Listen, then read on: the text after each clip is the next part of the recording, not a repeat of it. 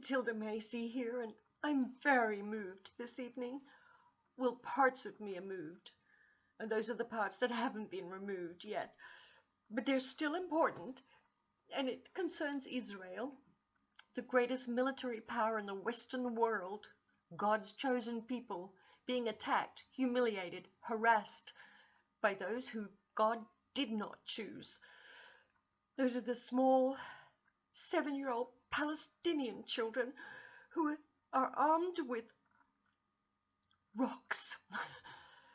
and you can tell that there must be some overseas interest that is supplying these children with these armaments.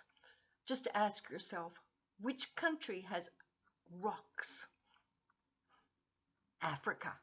See, one of the shithole countries.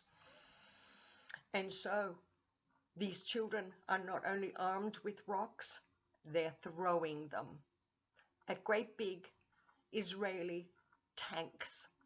Do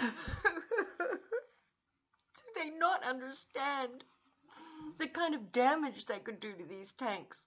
Do they not understand how expensive these tanks are? Do they not understand we, the American taxpayer, are funding these tanks? We pay for them.